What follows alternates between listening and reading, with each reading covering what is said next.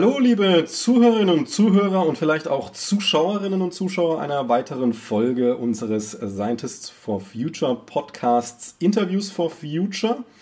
Ähm, wir beginnen das neue Jahr mit einer ganzen Reihe an Interviews. Ich weiß jetzt noch nicht, ob das Interview tatsächlich das ist, was dann als erstes erscheint, ähm, aber eine Reihe von vier, fünf Interviews wird es jetzt relativ bald erscheinen. Wenn Sie es jetzt schon hören und sehen, ist es ja dann auch schon öffentlich. Ähm, ich habe heute eingeladen den Professor Dr. Andreas Knie. Hallo. Hallo. Ich will mal so ein bisschen, ähm, was ich über Sie so rausrecherchiert habe, Überblick. Sie können es ja dann noch ein bisschen sortieren, wo was richtig oder falsch oder vielleicht, vielleicht was fehlt oder zu überdeutlich ist. Äh, Sie sind Politikwissenschaftler, ähm, auch in der Sozialforschung tätig, äh, Wissenschaftsforschung, Technikforschung, Mobilitätsforschung sind äh, Leiter der Forschungsgruppe Wissenschaftspolitik am Wissenschaftszentrum für Sozialforschung in Berlin. Das richtig? Ja, mittlerweile bin ich Leiter, Co-Leiter mit meinem Kollegen Bert Kanzler der Forschungsgruppe Digitale Mobilität. Wir machen also Wissenschaftsforschung und Mobilität. Ah, alles klar, okay. Also Mobilität ist bei Ihnen auf jeden Fall ein Fokus. Das ist ja auch das, wo genau, wir ja. uns hier drüber unterhalten werden und sind, wenn ich das richtig recherchiert habe. Äh, ich wäre beinahe drauf reingefallen, habe eine Rede von Ihnen bei den Grünen gesehen. Ähm, aber Sie sind SPD-Mitglied bei der. Nein, nein, nein, nein, um Gottes Willen. Nein, oh. ich bin nicht SPD-Mitglied. Also die Fraktion Heidelberg schreibt das auf ihrer Homepage. ja, die Fraktion Heidelberg das mal ändern. Ah ja gut, dann sollte ich das mal tun. Nicht, ich war niemals SPD-Mitglied und ich würde sagen, ich werde auch niemals SPD-Mitglied. Welche Gründe hat das denn? Weil wir alle Sozialdemokraten, also meine Generation, Jahrgang 60, die 60er sind alle Sozialdemokraten, denn alles, was wir haben, äh, ist sozialdemokratische Politik, äh, hat auch viel mit Mobilität zu tun. Wir mussten, konnten raus aus den ländlichen Räumen hinein in die Städte. Aber wir haben damit auch erst leider gemerkt, was den Sozialdemokraten noch alles so fehlt. Und das sind sie nicht bereit, neu zu lernen. Und da sie immer noch in der Partei stecken, in der sie in den 60er Jahren steckten, ist das leider keine Partei, die für die Zukunft auch noch akzeptabel ist. Okay, haben Sie, haben Sie da Hoffnungen, dass sich das vielleicht mit der jüngeren Generation mal ändern mag? Weil Sozialdemokratie ist ja jetzt erstmal per se nichts Schlechtes.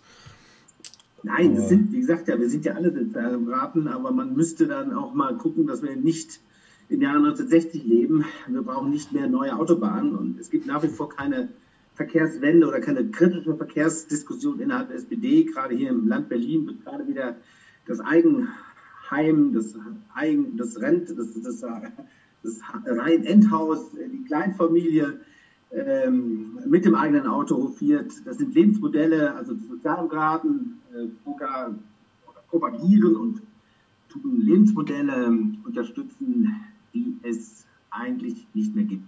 Und wenn sie das nicht lernen, dann werden sie tatsächlich, was man nicht hoffen darf, tatsächlich mit diesen Lebensmodellen untergehen. Es ist wie Mangerie, ja, es ist wie Porsche. Irgendwann ist die Zeit dieser Produkte vorbei. Ähm, erweitern wir mal die Grenze von der SPD allgemein in die Politik, ist ja äh, auf verschiedensten Strömungen äh, ein sehr alt hergebrachtes, wie Sie sagen, zum Beispiel neue Autobahnen ist jetzt vielleicht nicht mehr unbedingt das Verbrauchen oder ähm, den Leuten möglichst viele Autos zu verkaufen und so weiter und so fort. Das ist ja alles äh, jetzt sachlich gesehen super leicht verständlich. Also ähm, korrigieren Sie mich, wenn die Zahl falsch ist, aber ich meine mal gelesen zu haben, dass wir bei 40 Millionen Privathaushalten in Deutschland 60 Millionen PKWs haben.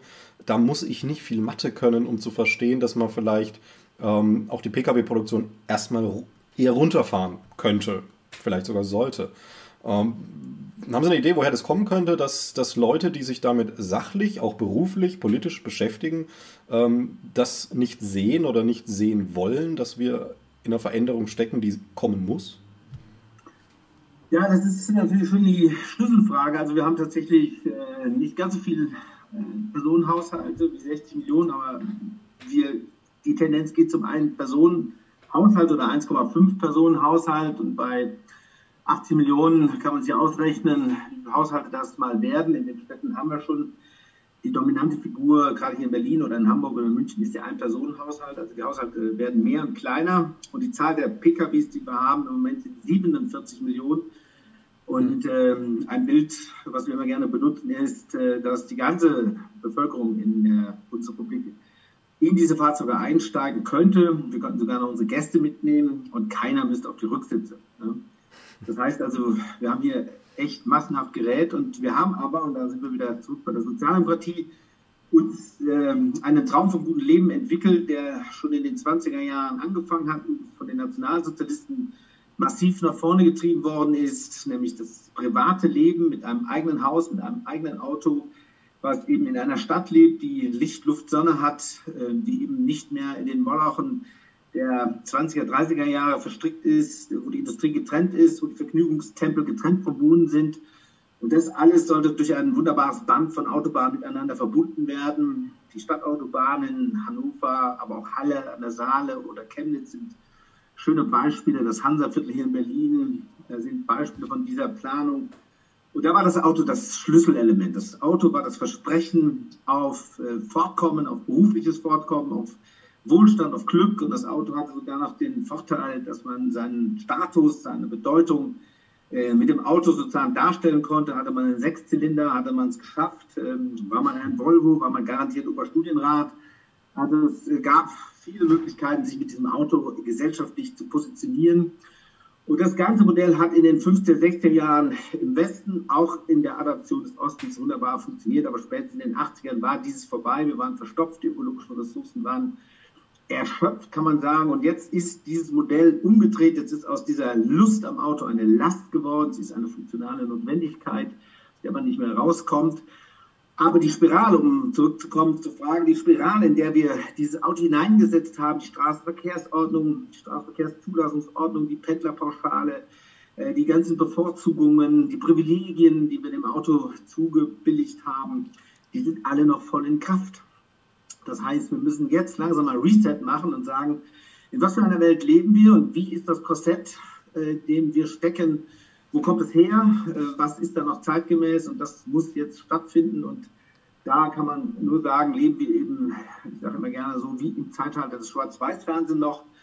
Wir müssen hier neue Wege gehen und ähm, wir müssen die Verkehrspolitik und die Mobilitätspolitik insgesamt wieder politischer machen, denn das, was wir vorfinden, zum Beispiel, ein ganz einfaches Beispiel, dass man ein Auto einfach abstellen kann auf der öffentlichen Straße, ist überhaupt nicht äh, Gott gegeben, ist noch nicht mal ein Naturgesetz sondern es ist eine politische Willensentscheidung aus den 60er Jahren, um das Auto zu popularisieren. Das hat erfolgreich funktioniert. Jetzt ist eine andere Herausforderung da. Wie kommen wir mit dem Blech, wie kommen wir von dem Blech wieder runter? Wie können wir effizienter sein? Wie können wir nachhaltiger? Wie können wir sozial gerechter werden? Und diese Aufgabe stellen wir uns jetzt. Das heißt, die müssen wir tatsächlich politisch lösen. Äh, ich will nochmal auf das Beispiel mit dem äh, Schwarz-Weiß und dann natürlich logischer Schluss Farbfernseher zurückkommen, weil das heißt ja jetzt, wenn man jetzt von Schwarz-Weiß aus Farbfernseher umschaltet äh, oder umwandelt, dann ist das ja eine Gleich- oder vielleicht sogar mehr Produktion. Man schmeißt die ganzen alten Fernseher raus und die neuen Fernseher rein.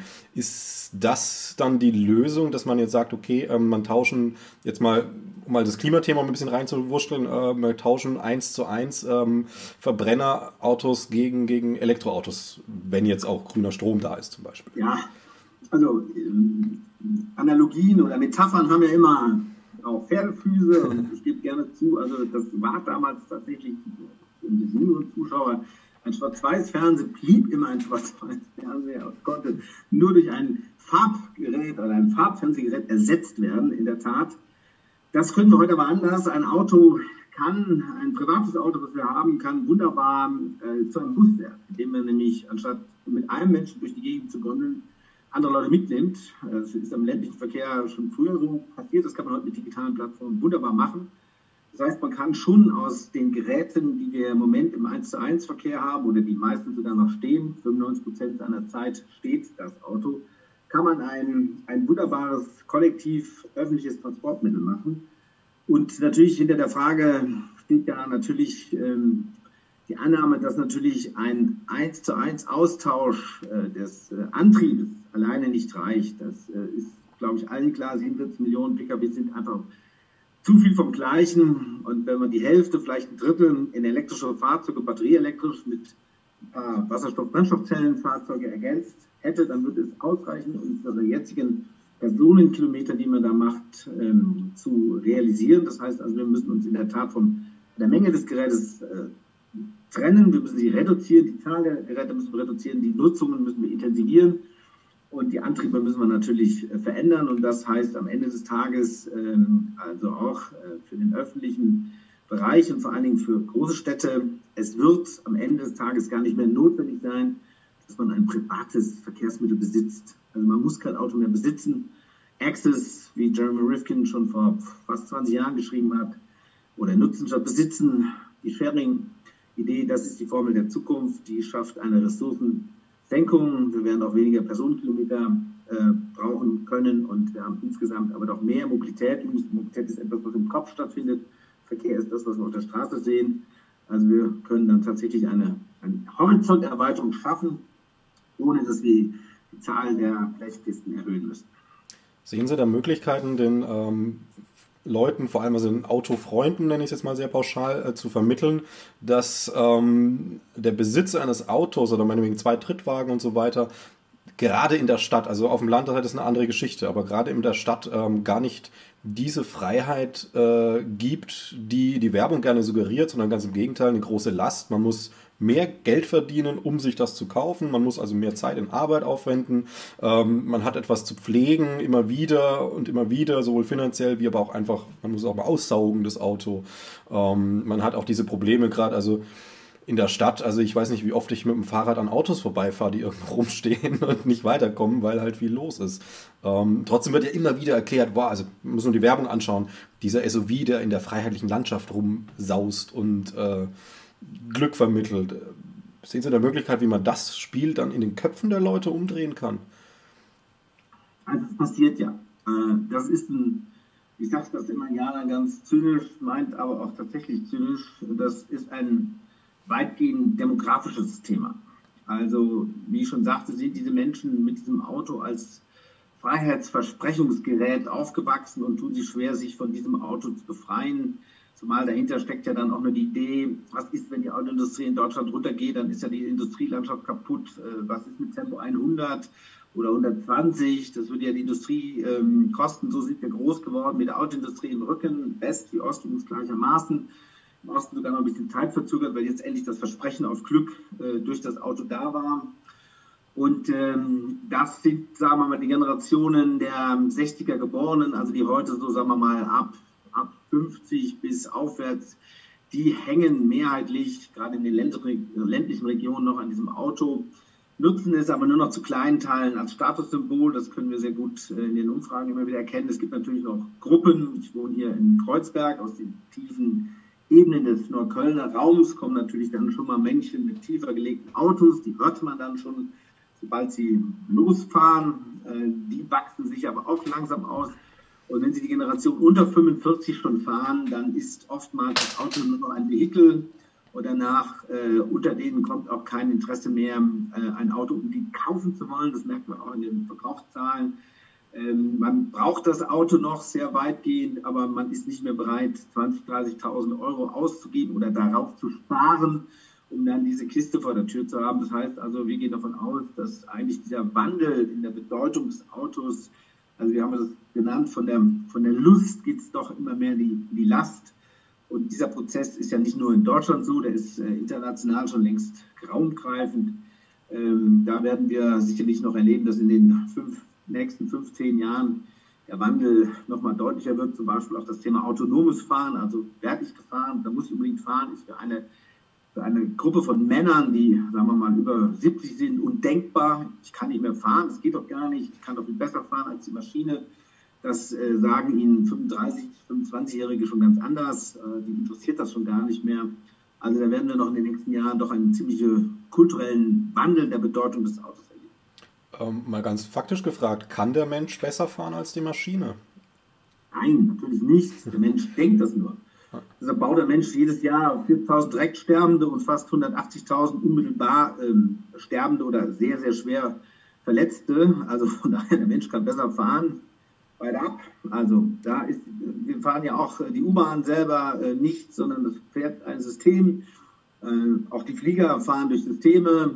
Die Systeme äh, sind überall die rationaleren. Die Systeme können sich vor allen Dingen selber abschalten. Und wir haben immer noch so ein, so ein altes Kultur, ein optimistisches Modell, dass der Mensch doch in der Komplexität doch durch nichts als äh, durch die künstliche Intelligenz ersetzbar ist. Ähm, das ist er sicherlich in seiner Vielfalt nicht, aber das, was im Straßenverkehr, in diesem hochkodierten, hochverrechtlichten Raum notwendig ist, ist mehr Rationalität. Und das geht nur durch die Maschine und die schafft das auch. Und deshalb ähm, mehr Maschinen schaffen mehr Sicherheit in Straßen. Genau, ich denke mal, kreativer schreiben als ein Computer kann ich auch, aber schneller rechnen halt schon mal nicht mehr. Das ja, es gibt noch ein paar wenige Dinge, die wir uns vorbehalten. Das sollten wir auch. Wir sollten auch kämpfen um unsere Authentizität, aber wir sollten auch zugeben, wo Maschinen tatsächlich besser sind. Vor allen Dingen, was ich lerne, sie sind, wenn sie müde werden äh, oder wenn sie nicht mehr können, dann hören sie eben auf und das macht der männliche Mensch ungern. Aber wird dann fehleranfälliger, bekanntermaßen. Genau. Ähm, Peak Karma, so als Stichpunkt, ist ja auch eine Geschichte, die schon ein bisschen älter ist als jetzt diese relativ neue Verkehrswende-Debatte. Ähm, mich erinnert das auch noch an einen Gedanken, also das ist schon ein Weilchen her, äh, in den 80ern müsste das gewesen sein, 80er, Ende 80er, Anfang 90er. Da habe ich es zumindest selber erlebt oder mitbekommen, ähm, dass die Angst vor Peak Oil, also dass das Öl äh, ausgeht, ganz groß war. Das ist jetzt äh, 30 bis 40 Jahre her dass man quasi vor einer Situation stand, die sagt, Leute, wir können diese Autos vielleicht bald nicht mehr fahren, weil es gibt kein Öl. Jetzt kommen wir in die Situation, dass wir sagen müssen, okay, wir können diese Autos bald nicht mehr fahren. Einerseits CO2, andererseits verstopfte Straßen. Ähm, da ist doch eigentlich genug Zeit gewesen, um auch politisch mal gesehen eine Verkehrswende äh, auch vielleicht sogar sanft über Jahre hinweg in die Wege zu leiten. Woran scheitert es? Also ja, vielleicht nochmal kurz zu Peak Oil. Peak Oil gibt es ja alle 30 Jahre. Mhm. Ne? Also Buna Leuna ist nur entstanden, das ist ganz interessant, wenn Sie mal die 20er Jahre nehmen, wie äh, dann Standard Oil zum Beispiel massiv versucht hat, durch synthetische Kraftstoffe den erwarteten ähm, Öleinbruch zu kompensieren. Also da war schon Angst, äh, wir können kein Öl mehr haben, wir müssen das durch Kohleverflüssigung schaffen. Das war uns die ganz große Zeit der deutschen Industrie.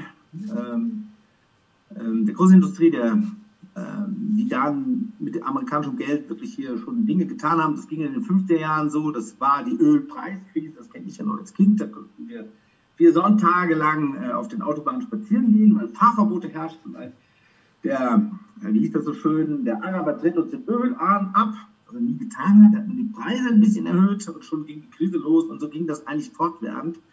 Äh, und immer wieder haben wir genug Rohstoff gehabt. Leider muss man sagen, weil für diesen Rohstoff werden Kriege geführt. Wir haben ja seit 120 Jahren destabilisieren wir die Welt, weil wir diesen Zugriff auf dieses Öl brauchen. Also das sollte man zu allen Kritikern der batterieelektrischen Autos mal sagen, in seltenen Ernten. Was ist denn da? Öl kommt nicht aus dem heimatlichen Garten, wird nicht zu Hause angeboten, sondern wird zu fast 40 Prozent immer noch aus Nahost bezogen, aus einem hochkompliziösen Bereich und wir sind die Schuldigen daran. Ne, was hat die Flüchtlingskrise mit der Dieselkrise zu tun? Jede Menge kann man da sagen.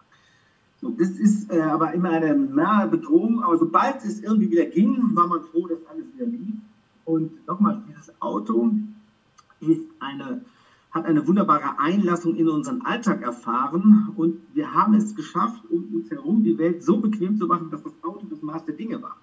Wie gesagt, das Abstellen auf öffentlichem Raum, die permanente Vorfahrtsstraße, die Regelungen werden überall gleich man hat freie Fahrt für freie Bürger und man kriegt sogar, wenn man viel fährt, noch von der Steuer was das ist, äh, sind wunderbare Dinge, die das Auto immer als Maß der Dinge äh, gegenüber jedem anderen Verkehrsmittel bevorzugt hat.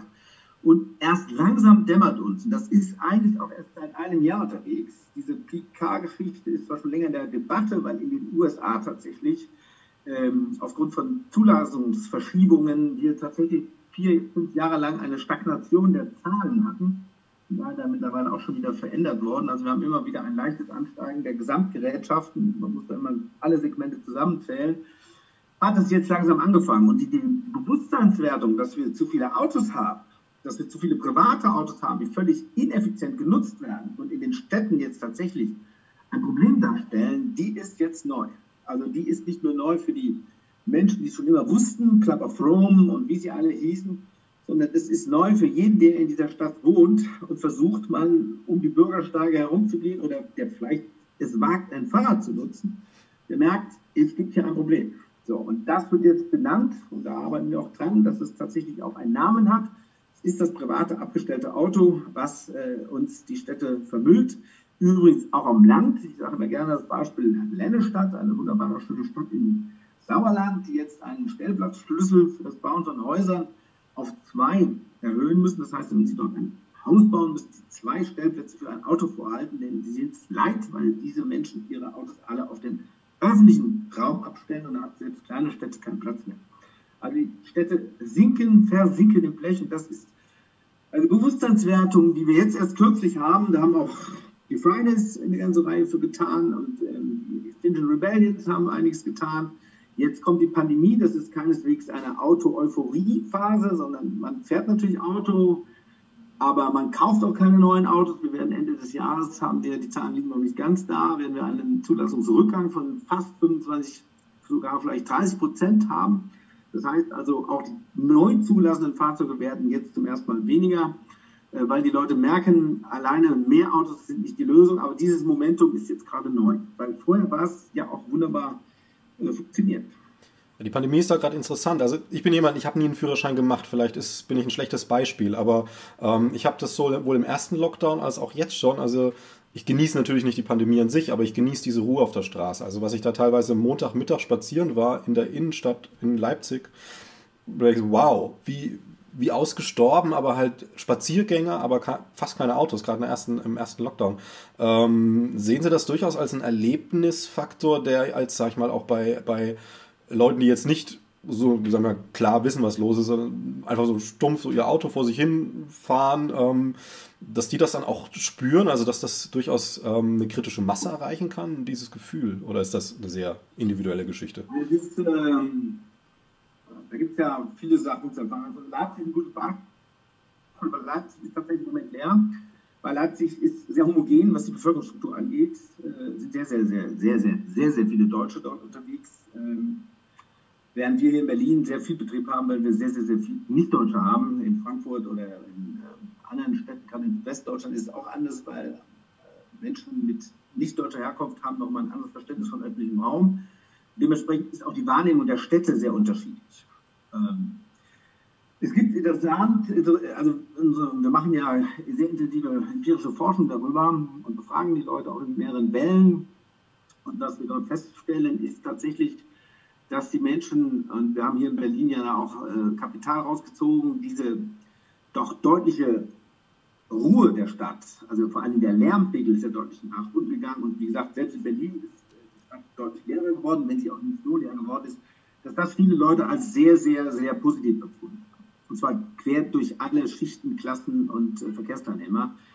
Ähm, natürlich war das eine außergewöhnliche Situation und in den Städten gibt es ja mittlerweile ein viel reflektierteres Verhalten, äh, auch was die Kontaktsperren angeht. Und wir haben, das kann man hier vielleicht jetzt mal so sagen, eine deutliche Korrelation von Inzidenzien, also von Infektionszahlen, ähm, Besiedlungsdichte und die Zahl der zugelassenen Autos. Ach, okay. Wenn das hoch ist, die Zahl der zugelassenen Autos, die Besiedlungsdichte runter. Äh, und jetzt kommt noch was dazu, was man einfach nicht verschweigen soll. Die AfD-Wählerschaft hoch ist, haben wir eine hohe Ansteckungsgefahr. Übrigens auch, das ist die zweite Korrelation, die wir haben, natürlich dort, wo vor allen Dingen Bevölkerung mit türkischer Herkunft her ist. Das sind die zwei Dinge, die man immer wieder sieht. Ähm, das heißt also auch nochmal eine kleine These am Rande. Ähm, äh, ÖV steckt an und Autos nicht. Äh, das ist völlig fahrlässig, diese These. Äh, Im ÖV hat man sich noch nicht angesteckt. Da gibt es überhaupt keine empirische Basis, dass man das irgendwie behaupten könnte. Ähm, Im Auto steckt man sich sicherlich nicht an, aber wenn man im Auto in Gegenden unterwegs ist, wo man andere Leute trifft, die dann aus den Autos aussteigen und so tun, als ob es kein Corona gäbe, die stecken sich dann an. Und das sieht man jetzt in den Zahlen im Bayerischen Wald, äh, in Sachsen, in einigen ländlichen Regionen, auch in Westdeutschland. Das ist also nicht nur ein West-Ost-Thema, sondern es ist ein ländliches Thema von Leuten, die kein Verständnis äh, dafür haben, was da jetzt äh, zu tun ist. Und das hat auch mit der Nutzung von Autos zu tun. Äh, letztens ist, letztlich ist ja die äh, Politik gefragt, um eine Verkehrswende ähm, ins Leben zu rufen. Jetzt, wenn ich mir das so anhöre, ähm, Sie haben empirische Studien, dass, dass äh, ein Großteil der, der Stadtbewohner, ein großer Anteil der städtischen Bewohner diese, diese Autofreiheit mal verkürzt gesagt genießt, was Sie jetzt noch so drumherum beschrieben haben. Ähm, wo ist denn da der politische Player, der das nutzt? Also wäre doch es ist ein super Thema. Es ist aktuell, es ist, ist fortschrittlich, es ist modern. Ist es ökologisch? Es gibt, dieses, es gibt dieses nicht. Also die Grünen haben das noch am ehesten getan und tun es auch. Aber die Grünen sind natürlich dann auch Gefangene Man sieht es am Ministerpräsidenten Kretschmann in ähm, Baden-Württemberg man sieht es auch da, wo die Autoindustrie äh, ist, wie ähm, in Hessen, äh, auch in NRW, äh, als die Grünen damals noch in der Regierung waren. Äh, dort tun sich Grüne extrem schwer, zumal Grüne dann doch mehrheitlich mit, äh, mehrheitlich nicht überall mit SPD zusammen sind und SPD hat nach wie vor die Fortschrittsidee, die wir eben schon besprochen haben, das Auto gehört zur Welt und vor allen Dingen die Autoindustrie gehört äh, zu dieser modernen deutschen Industriekultur. Und das alles macht es schwer, das Thema politisch aufzurollen. Aber ich würde auch die These unterstützen, dass das jetzt nur eine Frage der Zeit ist. Also es gibt jetzt die Klimaliste, die langsam anfangen, das Thema nochmal von der anderen Seite aufzurollen. Es wird hoffentlich nochmal wieder Aktionen geben äh, von den Bewegungen, den sozialen. Und dann wird das Thema auch wieder politikfähig sein. Und wir haben ja jetzt auch einen Bürgerentscheid hier in Berlin, autofreies Berlin. Ähm, das kommt jetzt immer stärker. Also es wird jetzt langsam politikfähig, etwas gegen die Zahl der Autos zu tun. Das war lange Jahre nicht so. Und die Linke, die, sage ich mal, in so einem Thema jetzt auch durchaus Überschneidungen hat, auch nicht, Nein, passiert nichts. Auch noch wie die Sozialdemokratie im alten Fortschrittsgedanken verharrt. Sie will die Arbeitsplätze sichern, ist ja auch, auch nichts Falsches. Äh, sie will auch vor allen Dingen gute Arbeitsplätze sichern, ist auch gar nichts Falsches.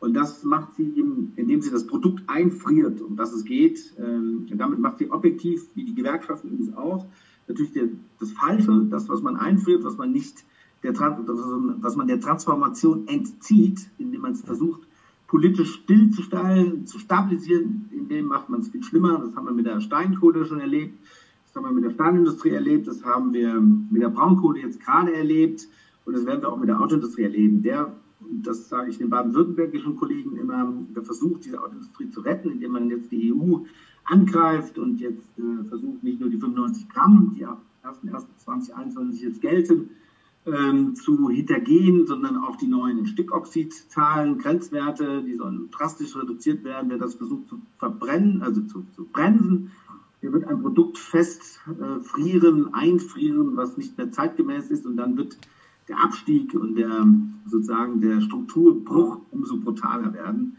Ähm, das ist ein, ein Lernen, ein Nicht-Lernen, was die Metall ganz, ganz stark auszeichnet und was auch zu großen Teilen die Sozialdemokratie und auch die Linke immer noch äh, gemeinsam eint.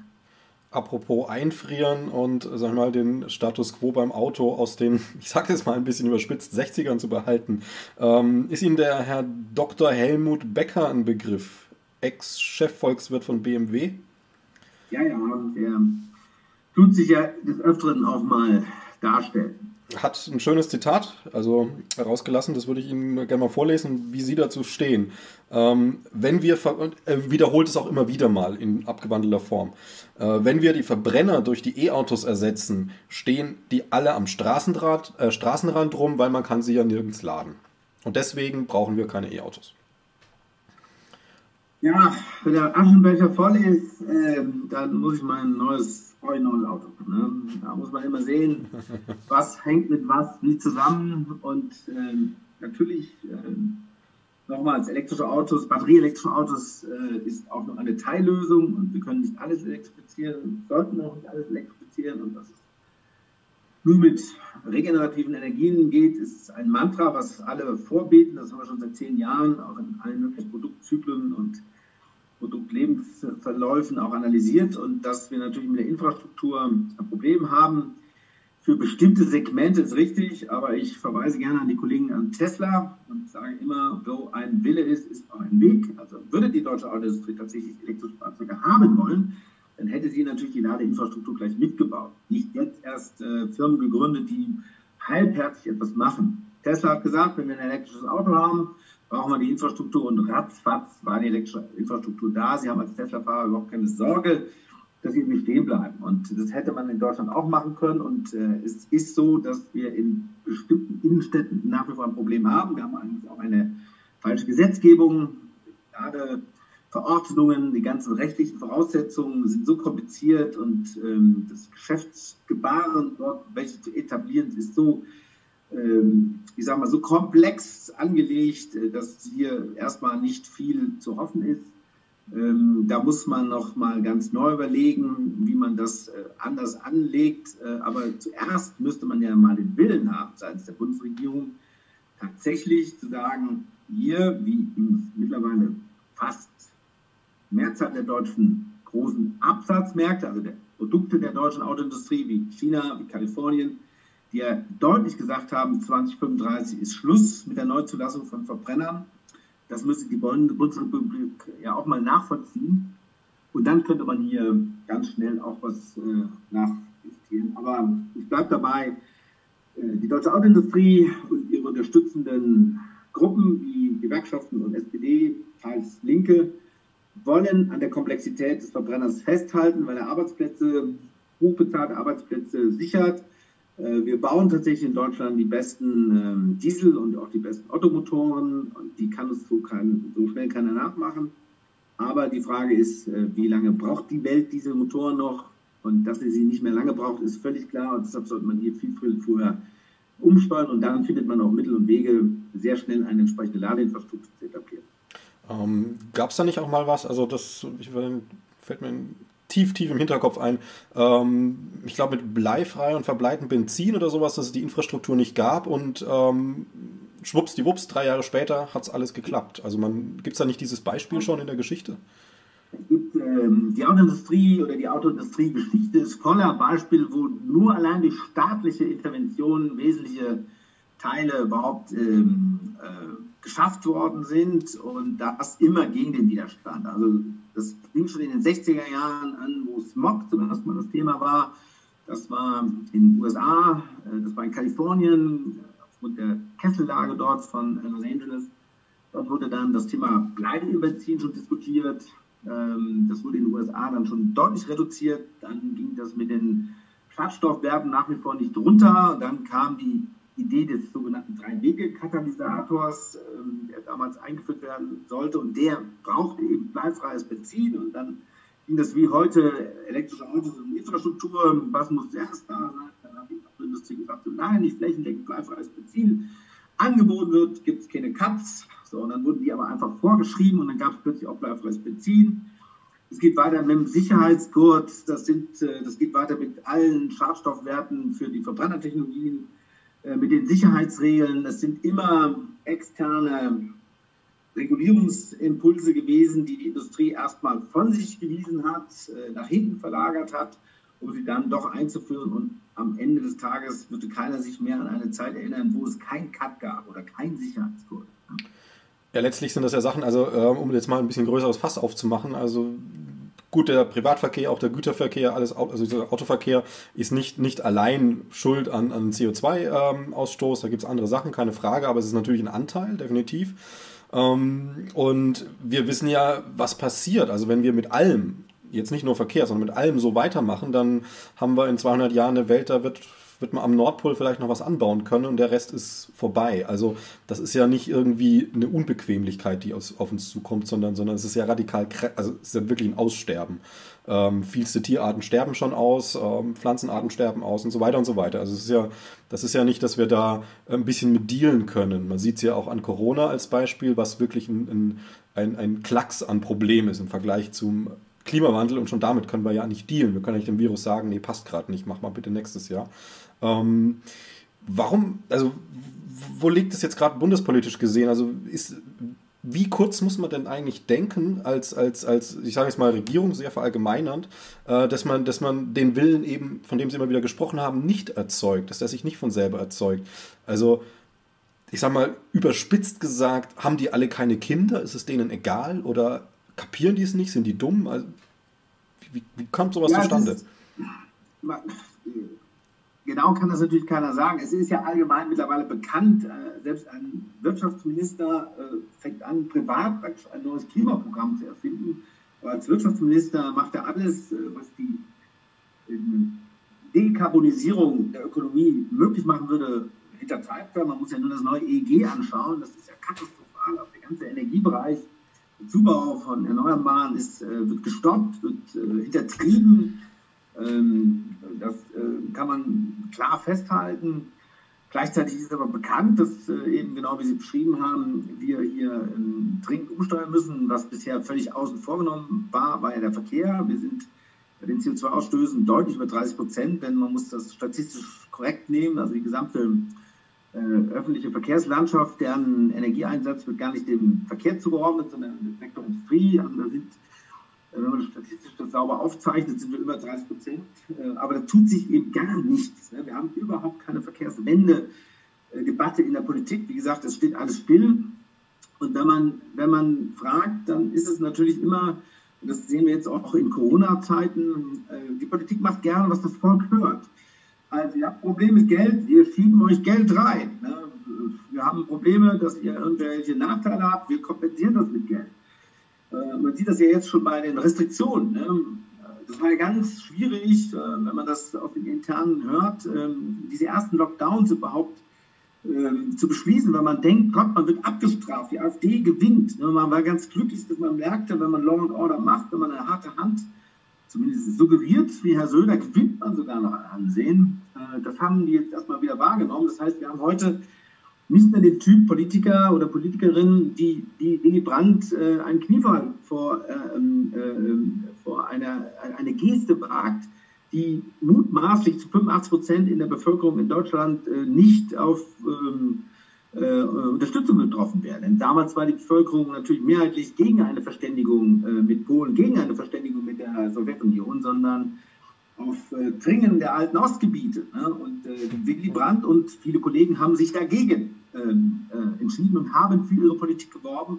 Das fehlt im Moment und ich hoffe, dass die Grünen da die Kurve noch kratzen, um ganz eindeutig zu sagen, wir haben ein klares Programm, weniger Autos, mehr Dekarbonisierung im Verkehr, auch über jeden Kilometer, den wir nicht machen müssen, nachzudenken. Und das würde ich jetzt sagen, das ist in der Bevölkerung viel, viel breiter äh, unterwegs als gedacht. Also wir haben eine Verkehrung der Situation, während früher die Politik noch sehr visionär angelegt war und die Bevölkerung eher so langsam hinterher trottete, haben wir mutmaßlich heute eine andere Situation. Der Bürger ist durch viele Aktivitäten viel mehr imstand, die Dinge zu erkennen. Aber die Führung glaubt sozusagen, dass der Bürger noch viel weiter hinter ihm wäre und traut sich nicht, Dinge festzuschreiben, ähm, die tatsächlich notwendig wären. Und meine, meine, meine heimliche These ist, es sind vor allen Dingen die Medien, die da immer dagegen spielen. Wir haben immer noch eine Bildzeitung, äh, um das noch deutlich zu sagen, das ist eine Zeitung, die viel, viel, also viel, viel kaputt gemacht hat. Ähm, und andere Medien, die dann sehr wenige Rufer hoch hochschieben und hochpushen und dann Alarm, Alarm schreien und alle denken, das wäre dann so. Ne? Ich meine, wir haben ja von Kanzler, ähm, vom Kanzler, vom Altkanzler früher die Aussage, was brauche ich mehr als das Fernsehen und die Bild am Sonntag? Äh, da kann ich schon die Politik mitmachen. Und das war ja auch was dran. Und das, äh, glaube ich, davon müssen wir uns verabschieden. Die Medienwelt ist vielfältiger. Wir können mehr haben. Und ich glaube auch, dass die Welt mittlerweile viel sensibler darauf reagiert. Und jetzt nochmal letzter Satz, das muss und das geht auch nur über Verbote. Ich sage immer gerne das Beispiel des Rauchens. Äh, wir haben da sehr viele Untersuchungen gemacht. Sie waren in Restaurants, als das Rauchen noch erlaubt war, haben gefragt, bitte könnten Sie auf das Rauchen verzichten. Ich esse noch. Nein, das ist hier erlaubt. Ja. Und was wäre denn, wenn es verboten wäre? Ja, dann würde ich aufhören. Und so war es ja, als das Verbot kam, sofort bei allen klar, ich höre auf. Ich gehe raus, ich mache das nicht. Ne? Und so ist ein weiteres Beispiel zu den Inlandsflüge. Braucht kein Mensch, bis auf wenige Ausnahmen, die kann man dann immer noch erlauben, aber in der Regel können gewerbliche Flüge im Inland gar nicht mehr stattfinden und das muss per Verbot ähm, geregelt sein. Klar, es jaulen einige Flughafenbetreiber, aber die Airlines werden zufrieden. Alle hätten drei, vier Hubs in der Republik und da müsste man mit dem Zug hinfahren und dann könnte man auch noch ins internationale Feld hineinfliegen, aber man müsste nicht zwischen muss man sich mal vorstellen, wir bauen ja nicht nur Autobahnen in Berlin und anderswo noch, sondern wir fliegen von Nürnberg nach München, von Köln nach Frankfurt ne, mit dem Flugzeug. Ne. Das sind ja noch Dinge, äh, die man einfach ähm, regulatorisch einfach an den Griff kriegt. Also These ist, eigentlich könnte man das härter und, und klarer und eindeutiger machen. Äh, das traut sich im Moment noch keiner und ich hoffe, dass der Wahlkampf im Herbst äh, da einige klare Akzente sieht. Zumal jetzt noch was dazu kommt. Also die Technik ist schon da, aber das Bewusstsein kommt gerade dazu. Ich sitze hier bei Leipzig, Sie sitzen bei Berlin. Ich hätte jetzt auch mal mit dem Flugzeug zu Ihnen fliegen können oder Sie zu mir für das Interview. ähm, aber es ist noch nicht mal jemand in die Bahn gestiegen. Also wir haben ja gar, gar nichts, sondern einfach Laptop aufgeklappt und ja. ähm, auch sowas. Also auch eine Konferenz mit vielleicht fünf Teilnehmern ist so ja durchaus möglich. Ich habe äh, das Wochenende Seminar, das sind 25 Teilnehmer und das wird auch über so eine Konferenz laufen und auch die Erfahrung aus dem letzten Lockdown kein Problem. Also das kommt ja noch oben. Also nicht alles ist ersetzbar. Als Hochschullehrer sage ich, Sicherlich, ja. ich brauche meine Sachen, aber sowas, was wir jetzt machen, oder ich hatte jetzt eine Backpräsentation noch in, in, Erfurt, da hätten wir drei Stunden wären wir hingefahren, hätten eine Stunde präsentiert, dann sind wir drei Stunden zurückgefahren und das haben wir wunderbar über solche Medien gemacht und haben da eine Stunde gehabt und waren alle glücklich und zufrieden. Also es gibt sehr, sehr viele Dinge, vielleicht auch da eine empirische Zahl. Wir gehen davon aus, dass die arbeitsplatzbezogenen Wege nach der Pandemie, sollten wir das jemals erleben, nur noch 70 bis 75 Prozent maximal erreichen. Das heißt, wir könnten tatsächlich durch diese Form, die Sie gerade angesprochen haben, tatsächlich ähm, effektiv Wege einsparen. Ähm, mal ein ganz anderes Beispiel, äh, wie Sie das einschätzen. Das wird jetzt momentan dieser Fehmarnbelt-Tunnel angefangen. Also die ähm, dänische Seite hat jetzt angefangen zu bauen. Ähm, das ist ja auch ein, ein, also einerseits wird der komplette Boden umgegraben, äh, obwohl dort Korallen jetzt entdeckt wurden. Also ökologisch schon nicht so schön. Ähm, dann ist diese, diese Tunnel ganz stark auf Autoverkehr, Güterautoverkehr und Privatautoverkehr ausgelegt, obwohl es auch andere Konzepte gibt, die hier mit Magnetschienenbahn meinetwegen ähm, und so weiter. Also da gibt es andere, andere Dinge. Äh, das ist Milliardengelder, die da reinfließen und ähm, letztlich auch versetzen, was, wie Sie ja schon gesagt haben, sich in den nächsten 5 bis 10, 15 Jahren verändern wird. Ähm, sind, sind das Milliardengräber sehenden Auges oder will sich da jemand nochmal ein Denkmal setzen oder steckt da auch noch eine Sinnhaftigkeit dahinter tatsächlich? Das ist ein Teil einer Landschaft, die natürlich längst aus der Zeit gefallen ist. Also das sind ja Planungen, die mindestens 30, 35 Jahre alt sind. Und natürlich ist ein Interesse äh, Dänemarks natürlich Anschluss ähm, an, an, an einen extrem starken Markt wie Deutschland zu bekommen. Das hat mit Güterverkehr, aber es hat auch mit Personenverkehr zu tun. Dänemark ist auch ein touristisches Land, das wollte man natürlich beschleunigen und man wollte insgesamt, das ist die gesamte EU-Politik, das darf man gerne nochmal daran erinnern, war, was hatte man gedacht? Man tut die Widerständigkeit des Raumes reduzieren. Man tut Grenzkontrollen abbauen. Man möchte, dass die Menschen sich frei und vor allen Dingen ungezwungen und viel leichter von A nach B bewegen können und auch andere Länder kennenlernen, ohne sie an Zollschranken aufgehalten werden, ohne dass sie überhaupt an ähm, Grenzen aufgehalten werden. Man hat sogar die Währung vereinheitlicht, man hat Teile der Genau, äh, würde ich mal gerne einhaken, äh, weil Sie gesagt haben, man will, dass die Menschen sich begegnen. Also die EU ist, ist ein, ähm, die Vor Vorgänger, verkürzt gesagt, ist, die, ist eine europäische Wirtschaftsgemeinschaft. Ähm, das Geld ist eine Wirtschaftsfrage. Also geht es da wirklich um die Menschen oder geht es dann letztlich doch viel mehr um die Wirtschaft? Bei dem ganzen Konstrukt? Ja, genau genommen waren sogar die europäischen Wirtschaftsgemeinschaften, es waren nämlich mehrere, mhm. Äh, die da zusammengeschlossen worden sind. Natürlich ist es getrieben von, äh, die Widerständigkeit des Raumes sollte zuerst für die Güter- und die Warenverkehre geöffnet werden, aber dann ganz klar für die Menschen. Deshalb haben wir auch ein Schengen-Abkommen. Übrigens natürlich nur für die innereuropäische Welt. Ne? Die außereuropäische Welt sollte natürlich da draußen bleiben. Also es war jetzt nicht für Afrikaner. Die sollen für uns weiterarbeiten. Die müssen da vorbei. Äh, also das, äh, wir wollen zwar ihre, unsere Waren wollen wir da ja absetzen ne? und wir wollen auch billig Waren importieren. Äh, wir wollen auch Teile wie in, schon besprochen im Nahost ähm, destabilisieren, damit wir immer Zugriff aufs Öl haben. Aber die Menschen sollen bitte nicht zu uns kommen ne? Oder nur mit extrem hohen Hürden. Aber innerhalb dieses EU-Raumes sollen wir möglichst frei uns bewegen. Und dafür braucht man eben neben Absenkung der rechtlichen Hürden immer auch Infrastrukturen, und das muss man leider erkennen, wo der Straßenbau ähm, die Federführung hat, sind die Sachen sehr schnell organisiert. Ähm, die Schienen tun sich da extrem schwer. Wir haben immer noch kein Hochgeschwindigkeitsnetz. Und äh, der Witz ist ja, dass die Deutsche Bahn AG jetzt, äh, jetzt entdeckt hat, na, es wäre vielleicht doch keine gute, oder es wäre vielleicht doch wieder eine gute Idee, Nachtzüge einzusetzen. Ähm, das hat man ja im letzten Jahr mit großer, großer Geste verabschiedet. Und jetzt möchte man es 20 2023 in Worten 2023 vielleicht wieder einführen. Das heißt also, in notwendiger Infrastruktur tut man sich schwer, während Straßenbau ist eine eingeführte Form. Wir können ganz ratzfatz Straßen bauen, Autobahnen sind gerade in Deutschland wunderbar unterwegs und in Europa insgesamt, während wir bei Schienenverkehren schwer, schwer und schwer tun und versuchen mal international, das merken ja die Leute jetzt, und sagen, okay, okay, dann fliege ich eben nicht mehr, äh, dann buche ich doch mal mit der Bahn was. Und das könnt ihr mal versuchen, wie, Sie das, wie weit Sie dann kommen. Da kommen Sie wirklich nur in ganz, ganz, ganz, ganz kleine Ecken und die Reisebüros haben gerade zu. Ähm, und deshalb ist äh, das internationale Geschäft mit China überhaupt nicht möglich. Das heißt also, lange Rede, kurzer Sinn.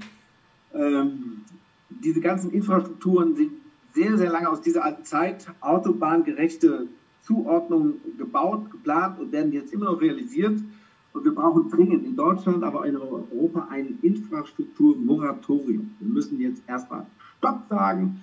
Keine neue Straße wird im Moment gebaut, ohne dass man nochmal genau nachguckt, äh, ob diese Sinnhaftigkeit dieser Straße immer noch gegeben ist. Es kann ja die eine oder andere Straße tatsächlich nur gebaut werden, aber die Vielfalt der Aktivitäten, gerade hier in Deutschland, der BUND hat auch eine wunderbare Liste der Unsinnigkeit, gerade der Straßenbauten, äh, gerade der Bundesautobahnen, die ist enorm lang und wir verballern da Geld ohne Ende, als ob es keinen Morgen gäbe. Also das muss dringend äh, revidiert werden. Und dazu gehört der Hermann-Belt auch, wie viele andere Infrastrukturprojekte auf EU-Ebene auf Basis von Straßen nochmal neu äh, diskutiert werden müssen.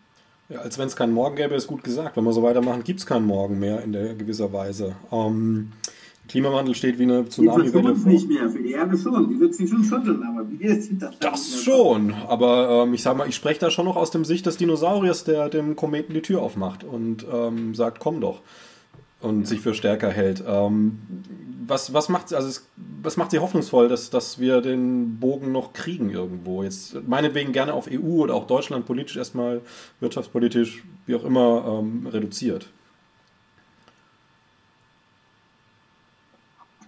Also, ich glaube, dass wir genügend Potenzial haben, das zu denken. Und wir haben jetzt eine, eine Jugend, wenn ich das mal so sagen darf, am Start, das auch sieht und der wir ja gerade auch die Zukunft verbauen. Das ist über die Sozialkassen, über die Rentenversicherung, über jetzt, was jetzt alles ausgegeben wird, das ist ja Geld, was irgendwann noch fehlt. Das wird ja aus dem Kreislauf herausgezogen und kurzfristig jetzt denen zur Verfügung gestellt, die es jetzt brauchen. Dass ich das jetzt alles nochmal ähm, vor den Augen der Jugend nochmal neu begründen muss und äh, wenn man sieht, wenn man auf Veranstaltungen ist und äh, so in meinem Alter erzählt, äh, was alles nicht mehr gemacht werden darf, was wir ändern sollten und dann hört man auch zu und ja, das ist ganz gut, das denken wir auch.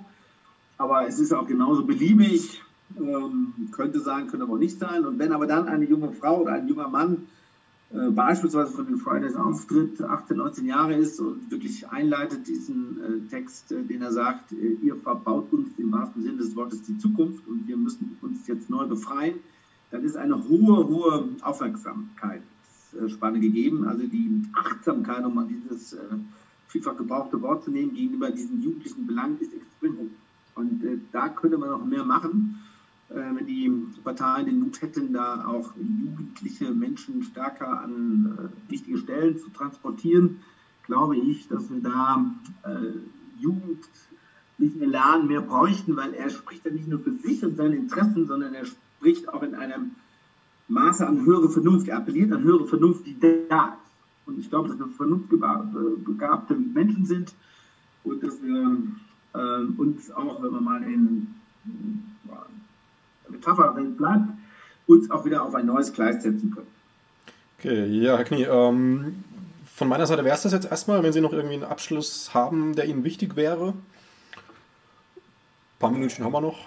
Nö, wir haben eigentlich alles, äh, man kann nie alles besprechen. ÖPNV hat man fast außen vor zum Beispiel, aber hm? ÖPNV hat man jetzt zum Beispiel fast außen vor, aber ja, also man muss, man muss irgendwo sind Grenzen. Genau. Also die Verkehrswende, also ich würde mal sagen, man muss, das sage ich auch selbstkritisch zu meiner Generation, wir müssen einfach mehr politischer denken. Vieles Dinge, viele Dinge gerade im Verkehr gehen oder Carsharing, geht das oder funktioniert das oder Breitpooling, funktioniert das, funktioniert das nicht oder der ÖV, unter welchen Umständen geht er denn? Ist das denn wirklich die Rückgrat ähm, der Verkehrswende? Das alles funktioniert nicht, wenn wir nicht das große Ganze sehen. Und das große Ganze heißt, das Auto war das Maß der Dinge in der Politik und zwar das private Auto. Es durfte überall geparkt werden, es hat Subventionen bekommen es hat immer Vorrang bekommen. Äh, das muss man sehen. Und wenn man daneben etwas an Alternativen stellen will, muss das natürlich besser sein. Und das kann aber nur dann besser sein, wenn man diesem Auto diese Privilegien auch wieder nimmt. Äh, sonst wird das nichts und äh, das darf man nicht vergessen. Und das wird oft, oft vergessen. Und ähm, Da hoffen wir, dass wir in Deutschland die Kurve wieder kratzen, denn äh, wir haben natürlich in, in, in, unseren Nachbarländern, wir haben in Frankreich gerade sehr, sehr viel Aufbruch. Das sind interessanterweise alles Frauen, die Bürgermeisterinnen sind, die in den Städten jetzt wirklich im Sinne der Aufräumarbeiten äh, das Blech rausschieben. Die Menschen sind sehr, sehr findig, sich Alternativen zu suchen, wenn es einmal politisch klar ist. Die Menschen suchen ja Klarheit und wenn die Klarheit gegeben ist, dann kommt man da schon mit. Und äh, das wünschen wir uns in Deutschland auch und da müssen wir alle mit tun und da sollten wir nicht verzagt sein. Und da kann die Pandemie, Stichwort leere Straßen, neues, äh, neues Bewusstsein von dem, was wir eigentlich machen, muss das alles so sein. Also wir haben ja ein, eine Reduktion von Flugverkehr, das hätte man ja sich in den kühnsten Träumen nicht äh, gedacht. Er wird auch wieder zurückkommen, aber nicht mehr in dem Maße. Und also in dem Sinne können wir, müssen wir alles so machen wie vorher. Das wäre natürlich schon gut und da glaube ich, sind wir halbwegs auf einem ersten Weg angekommen, auf einer ersten Markierung. Die müssen wir natürlich auch konsequent noch weiter treiben. Und es liegt an uns selber, in unserem Verhalten, aber auch in unserer politischen Arbeit, diese Regeln und die Reformen und vor allen Dingen die Rahmenbedingungen für das, was wir tun, auch dann anzupassen, zu verändern und nicht in einem Korsett zu leben, was aus den 50er, 60er Jahren ist. Und mal einen schönen Satz von Theodor Adorno zu zitieren, es gibt eben kein richtiges Leben im Falschen. Das heißt, wir können aus dieser Korsettstruktur der Verkehrspolitik der 50er, 60er Jahre keine Verkehrswende machen. Wir müssen sie, das Korsett muss zerschlagen werden, es muss quasi neu, neu etabliert werden. Ja, Herr Knie, dann würde ich mal sagen, sind Sie jetzt schon herzlich eingeladen für ein Interview in zehn Jahren. Mal schauen, was sich entwickelt hat. Das könnte spannend werden. Ähm, und danke Ihnen herzlich für die Einblicke. Gerne, gerne.